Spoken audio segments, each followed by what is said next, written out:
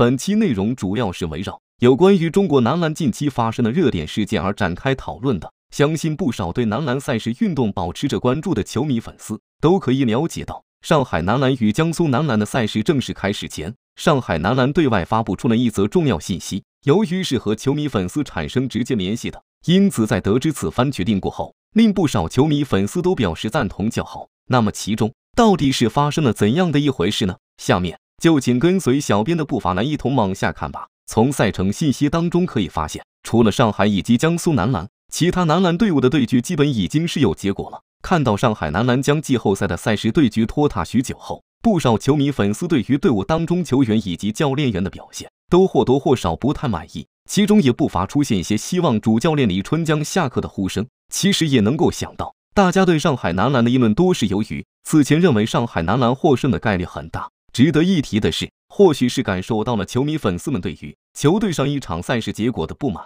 因此近期上海男篮官方向外界透露出了与江苏男篮赛事比拼的相关售票信息。与其他男篮队伍进行比较过后，可以明显看出上海男篮的对外售票价格明显低很多。这样一来，也就可以算作是对于球迷粉丝的弥补了。如此一来，也能够让更多支持球队的粉丝们来到比赛场地，去见证本次上海男篮认真对待之后的表现。与此同时，在得知王哲林将会参战此次比赛过后，就更加让球迷粉丝确信。看来李春江等待原因或许就与球队阵容是否更加完善有关。综上所述，我们将会在上海与江苏的对决当中看到极为激烈的对局表现。在李春江信心满满的同时，也有球迷粉丝表示希望江苏男篮可以全力以赴，这样才是真正的男篮赛事对决。对此，大家有怎样的看法呢？欢迎在下方的评论区进行留言讨论吧。